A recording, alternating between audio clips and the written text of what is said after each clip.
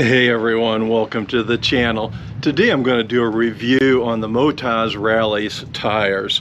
In this particular case it's going to be the rear and the size of the rear tire is 150 by 70 by 18. Let's get the camera turned around here and we'll take a look at the tire. At the time of this video the Rallz tire has 3,275 miles on it and I'm here to tell you it looks like a brand new tire. It's hardly worn at all and the price on it was around uh, $200 give or take which puts it uh, right in there with about the same price uh, for this size tire as most of the other tires are. We just got done running um, the next leg of the Transamerica Trail and I got to tell you this tire really performed well. Um, it did well under all conditions. It did well on pavement, at highway speeds, we were in mud and uh, it handled itself really well in the mud. Even though it caked up with mud, it still held, which was uh, pretty amazing because usually they'll get uh, pretty slippery uh, if they load up, but this tire really uh, seemed to grip well. Um, we had it in sand, it did well in sand. We did uh, stream crossings, um, it did really well there. it just really, really performed well. This is an excellent tire and uh, you won't uh, go wrong if you decide to purchase this particular tire.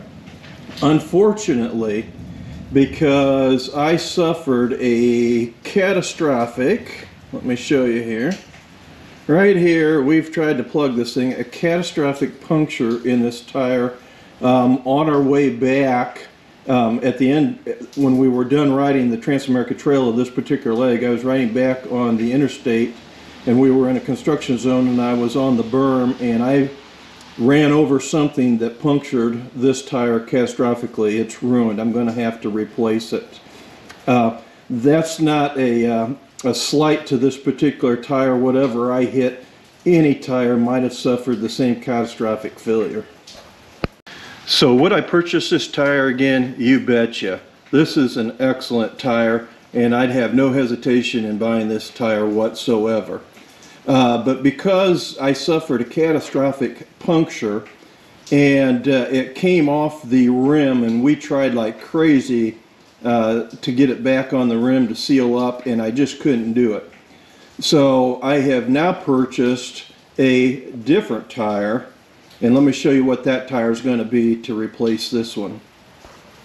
The new tire I got is the Mitas E09 Dakar version. The Dakar version is supposed to be more puncture resistant.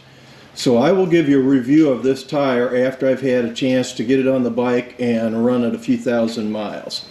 Unfortunately, with the Rallz tire, I will not be able to give you an update to let you know exactly how, how long that tire lasted. I would expect that tire to last, though, clear into the, uh, because so much tread uh, depth that it has, clear into the seven, 8,000, maybe even 9,000 mile range.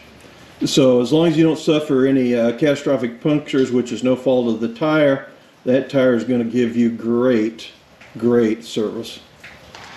Well, I hope this video helps you make a decision on your next adventure tire and that it gives you more information than what you had before. If you like this video, please give it the big thumbs up and don't forget to hit that subscribe button. Till next time, take care.